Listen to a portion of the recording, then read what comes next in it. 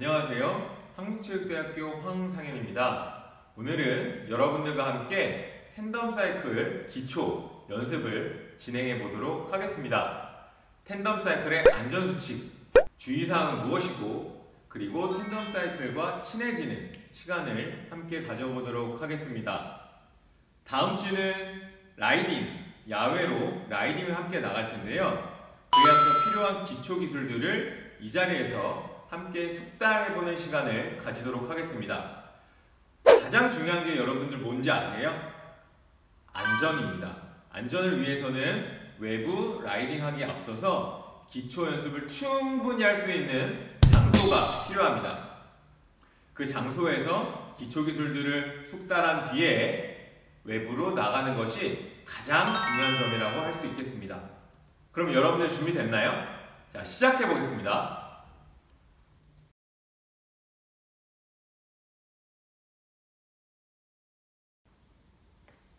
시각장애인 팬덤 사이클 탑승에 앞서 바지 밑단을 정리해 보겠습니다. 집에 있는 고무줄이나 긴 양말 등을 활용하여 바지의 밑단을 정리해 줍니다.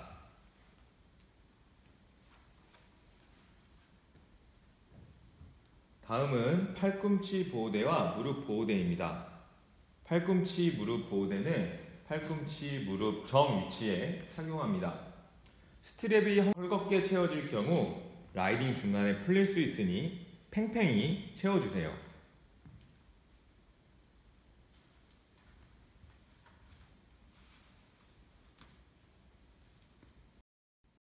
다음은 헬멧입니다. 헬멧은 버클을 채우고 턱 아래에 단단히 고정합니다. 턱과 스트랩 사이는 손가락 두 개 정도가 적당합니다. 마지막으로 장갑입니다. 장갑은 본인의 손에 맞는 크기인지를 확인합니다. 양 손가락 끝이 장갑 끝까지 들어갔는지 확인을 하고 장갑을 착용합니다.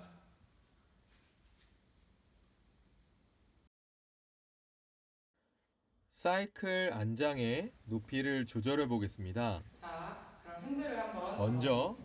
핸들바를 잡고 네. 안전하게 안장 위에. 탑승합니다.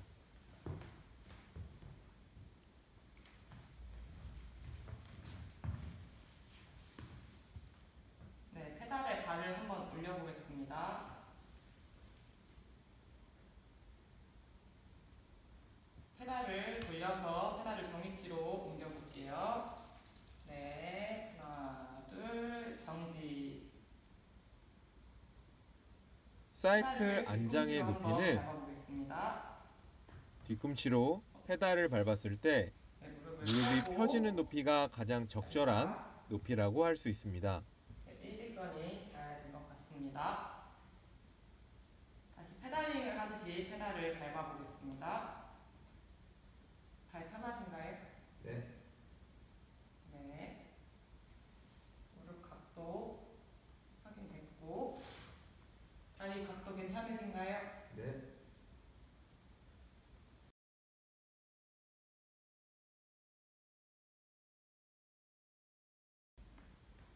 파일럿은 핸들이 잘 고정되어 있는지 앞 핸들과 뒷 핸들을 확인합니다.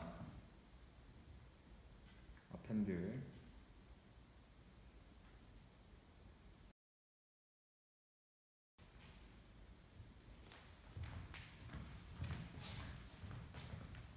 그리고 뒷 핸들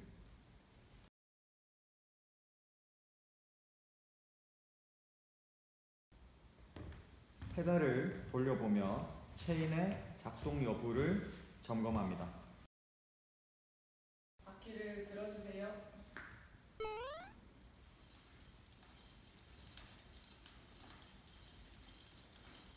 네, 정지하겠습니다.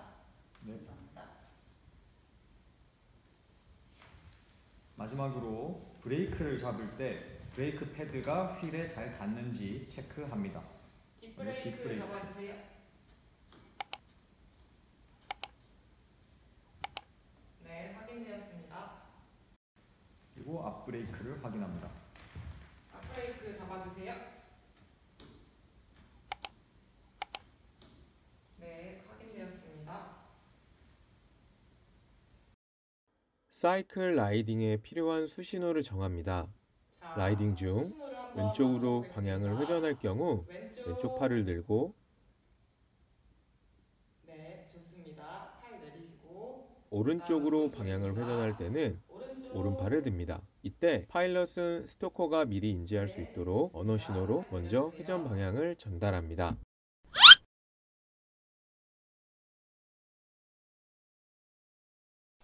활동 시작 전 안전을 위한 보호 장구 착용은 필수입니다.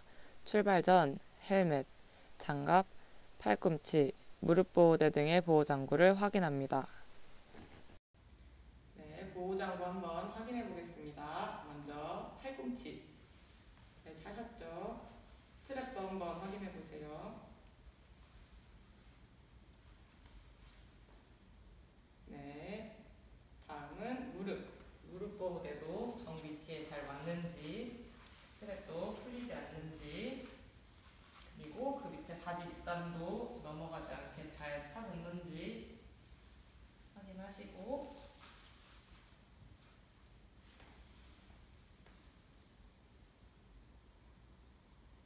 네, 장갑도 손끝이 남지 않게 제대로 차셨나요?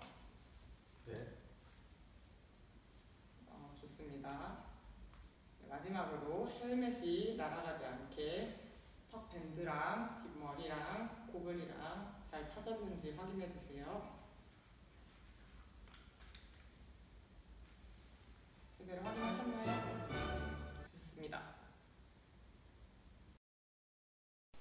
기초 연습 단계를 진행해 보겠습니다. 첫 번째 단계에서는 스토커가 직접 핸들, 프레임, 페달, 안장 등을 만져보며 사이클 구성 요소의 위치를 이해하는 시간을 갖습니다. 네, 그러면 실제 탑승하기에 앞서 사이클의 구성 요소를 만져보는 시간을 먼저 갖겠습니다. 제가 좀 도와드려도 괜찮을까요? 네, 감사합니다. 네, 손을 옮겨서 한번 만져보겠습니다. 네, 잡으시는 곳이 앞자리 핸들이고 손가락을 벌리시면 브레이크에 손가락이 걸릴 겁니다. 네, 좋습니다. 그대로 뒤로 이동하면서 만져볼게요. 네, 앞자리 프레임, 앞자리 안장. 손을 옮기시면 뒷자리 핸들. 튀어나와 있으니까 조심하세요. 네. 네, 그대로 뒤로 이동하겠습니다. 네. 자, 뒷자리 프레임. 손을 따라 올라오면 뒷자리 안장. 네. 마지막으로 뒷바퀴입니다.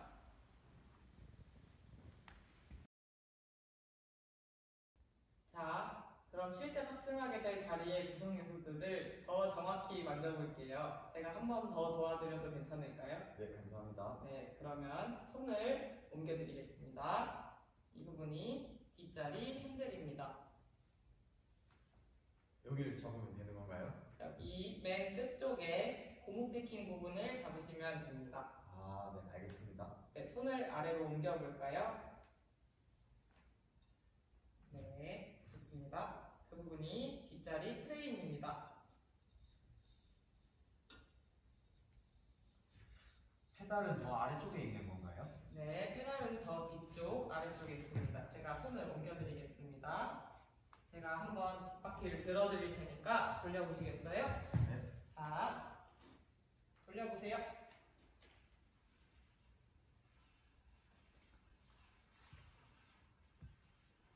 어떠세요? 어, 굴러가는 느낌이 페달을 통해서 전달이 되는 것 같아요. 네, 멈춰볼게요. 네, 이제 일어나 보시겠어요? 마지막은 뒷자리 안장입니다. 이곳에 앉게 됩니다. 알겠습니다. 두 번째 단계는 사이클 핸들 잡고 끌어보기입니다. 파일럿과 스토커는 호흡을 맞추어 직선과 턴 등의 다양한 방향으로 사이클을 끌어보며 언어 신호를 연습해 볼 수 있습니다.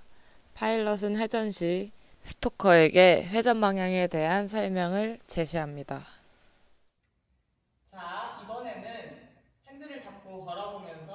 직진과 반향전환 연습을 한번 해보겠습니다. 출발 준비 되셨나요? 네, 준비했습니다. 네, 그럼 하나, 둘 신호에 맞춰서 출발해보겠습니다. 네. 하나, 둘, 출발. 왼쪽으로 돌겠습니다. 하나, 둘, 왼쪽. 왼쪽, 왼쪽, 정지.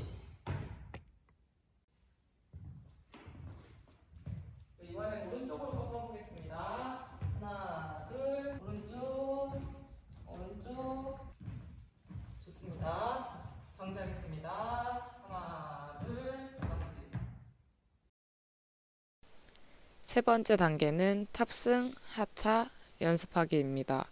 먼저 파일럿과 스토커가 승하차 시 사용할 기준바를 약속하는 것이 좋습니다. 스토커님, 탑승하기 전에 저희가 먼저 약속을 하려고 해요. 혹시 어느 방향으로 타고 내리는 게 편하실까요?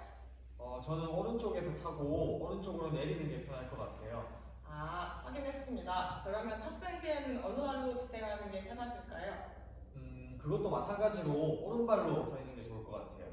네, 그럼 이제 탑승 연습을 해볼 텐데 먼저 탑승하실 거예요. 스토커님이 먼저 탑승하고 나면 왼발로 자전거 사이클 뒤에 거치대를 꼭 발로 밀어주세요. 네, 알겠습니다. 네, 준비되셨으면 탑승 연습 시작해 보겠습니다. 탑승 시에는 stoker가 먼저 네, 탑승할 수 네, 있도록 파일럿은 사이클을 안전하게 지탱해 줍니다. stoker가 먼저 탑승한 뒤 탑승 완료했습니다 등의 신호를 보내면 파일럿은 stoker의 탑승을 확인한 후 탑승하도록 합니다. 네, 탑승 완료했으니 하나, 둘, 셋 하면 왼발을 페달에 올려주세요. 네. 하나, 둘, 셋.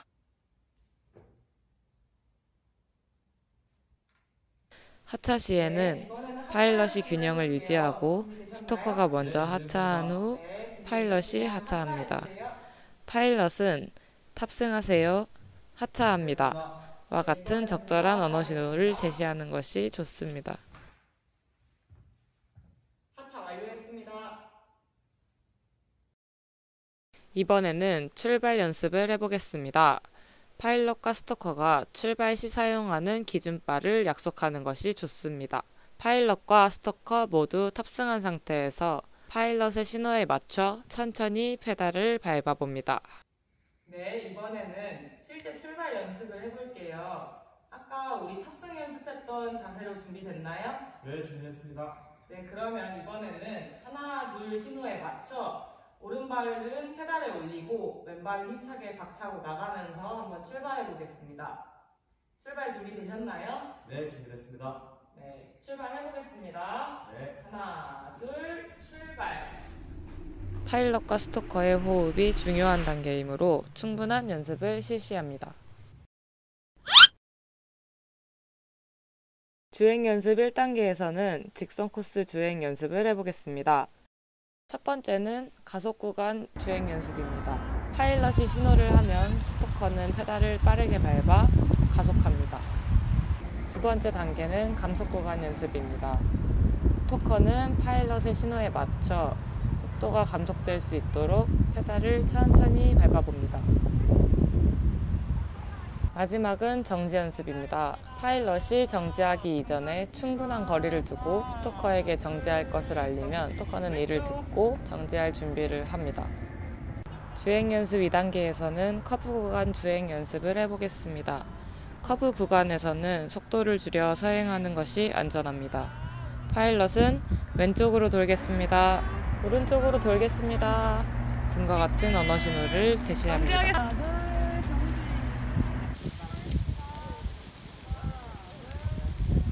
직선 구간과 커브 구간을 충분히 연습했다면 유턴 구간을 만들어 직선과 커브를 동시에 연습해 볼 수도 있습니다.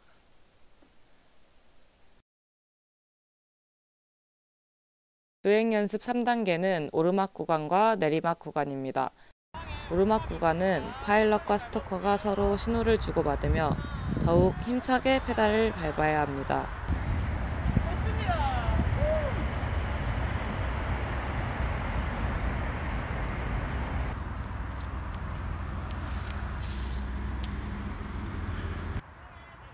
내리막 구간에서 파일럿은 브레이크를 잡아 감속한 상태로 안전하게 내려올 수 있게 합니다. 내리막 구간까지 연습을 마치면 기초주행 연습이 모두 끝났습니다. 다음 차시에서는 실전 라이딩에 필요한 것들을 추가로 연습해보고 실제로 라이딩을 하는 상황을 연습해보도록 하겠습니다.